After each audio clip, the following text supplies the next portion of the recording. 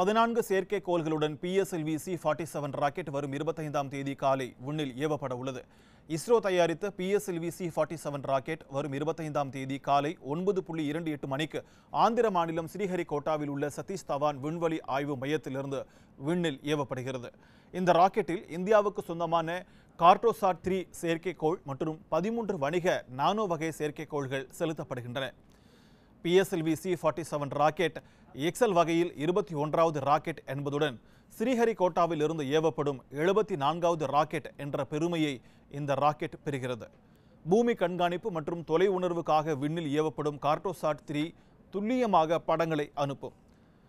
இந்த செயற்கைக்கோள் ஐநூற்று ஒன்பது கிலோமீட்டர் உயரத்தில் புவிவட்ட சுற்றுப்பாதையில் தொன்னூற்றி ஏழு புள்ளி ஐந்து டிகிரி சாய்வில் நிலை நிறுத்தப்பட உள்ளது. தற்போது ராக்கெட்டை பொருத்தும் பணியில் விஞ்ஞானிகள் தீவிரமாக பணியாற்றி வரும் நிலையில் இதற்கான கவுண்ட் டவுன் வரும் இருபத்தி மூன்றாம் தேதி தொடங்குவதற்கு வாய்ப்புள்ளது.